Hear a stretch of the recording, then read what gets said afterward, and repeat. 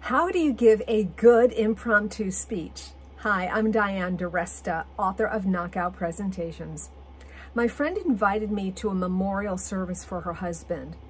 And when I got there, we were mingling and she was very nervous and said, just know that I'm really nervous and don't critique me. And I said, I'm not going to do that. I'm here to be part of your celebration and I certainly am not on in business to critique you.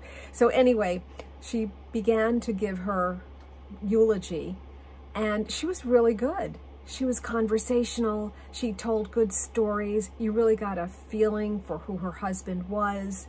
She seemed very confident. She was funny. She was talking with the audience.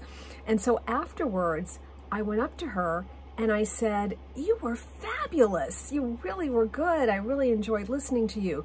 I've known her for so many years, but never really heard her present. And she said, if you knew how many times I practiced and rehearsed. And I didn't know because it seemed so natural and conversational. So the question is, how long does it take to give a good impromptu speech?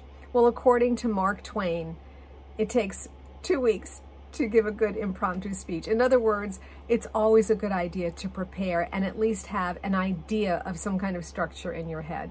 For more tips, you can visit my channel at youtube.com forward slash Diane DiResta, and you can get my book, Knockout Presentations, on Amazon.